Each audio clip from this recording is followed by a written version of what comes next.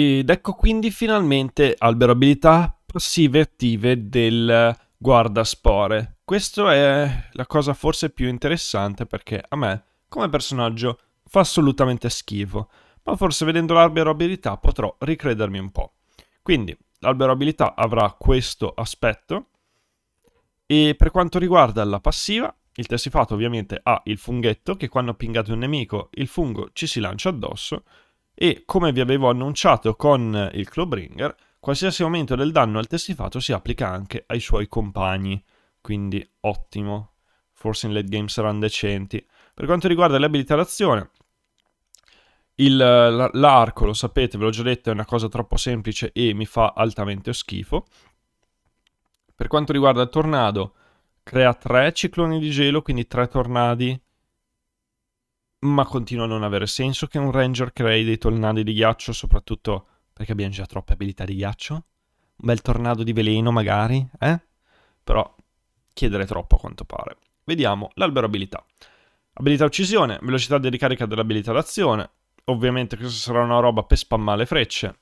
Energia del compagno aumentato e danno del compagno aumentato, nulla di che. Danno arma da fuoco aumentato e destrezza arma aumentata.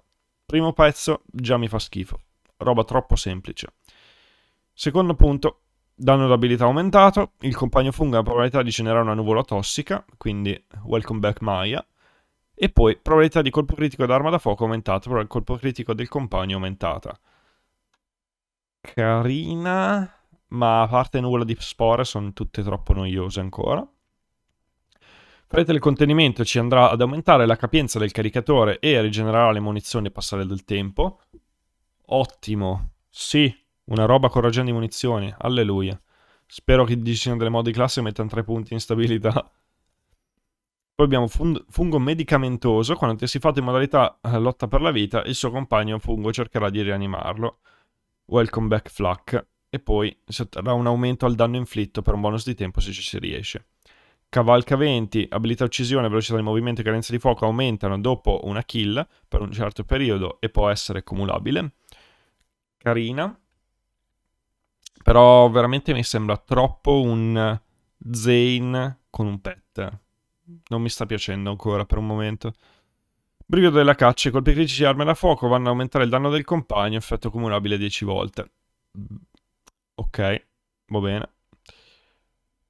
Questa abilità potrebbe essere buona unendosi allo sparamagie. Così lo sparamagie guadagna CDR su le magie quando fa colpo critico allo stesso tempo aumenta il danno del pet. Però, boh, non mi convince molto. Tiro comandato, quando usa il mirino il tessifato ottiene un aumento progressivo al danno arma da fuoco e alla riduzione danno. Per carità ci sta, ma se mi dai delle abilità di velocità di movimento non puoi mettermi delle abilità che devo star fermo a mirare. Cioè, veramente, è proprio un'unione di Zane e Flak, ma non va bene così, non va bene. Ire della natura. Quando il tessifato infligge danno d'abilità, il nemico bersagliato subisce danni aumentati. E l'altro è danno d'arma da fuoco inflitto nei colpi critici aumentato.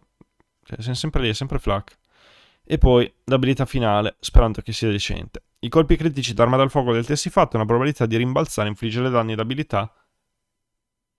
Danni d'abilità? Nani? I colpi rimbalzati hanno una piccola probabilità di rimbalzare una volta in più.